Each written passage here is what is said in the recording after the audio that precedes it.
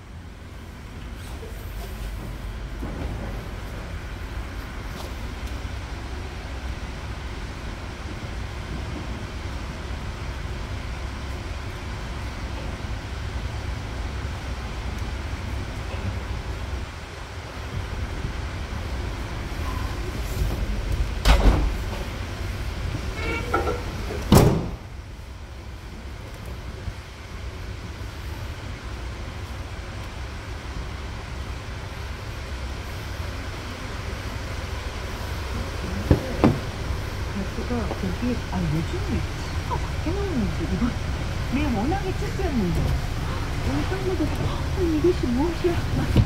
언니 이러면 안돼. 덮개야 돼. 아 엄청 야단 맛봤어 참치스는 저희는 일주일 동안 시험을 전달했거든요 이게 더 틀렸어요 그래서 오늘 오늘 시험 첫 시작합니다. 아 참, 네. 참 좋아하는데 안 한 지가 오래됐어요. 저 염색을 했는데 신랑이 못 알아보더라고요. 그러니까 색을 더 넣어서 밝게 하지 그랬냐고. 맨날 저한테 뭐라고 하는 거 있잖아요. 중에서. 좀 미안합니다. 네, 못 알아봐서 미안합니다. 네. 음, 그때 커트놀이가 노래가 너무 크지 않나요? 주현 씨 보내주셨는데, 어, 선생님이 그러더라고요. 지금 두 달에 한 번 정도 커트를 하는데 되게 쇼컷을 하잖아요. 그럼 두 달 정도 가거든요. 이제 두 달을 기다리지 말고 어?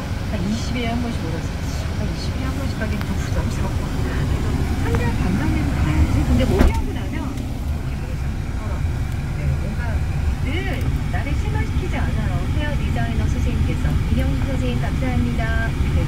아니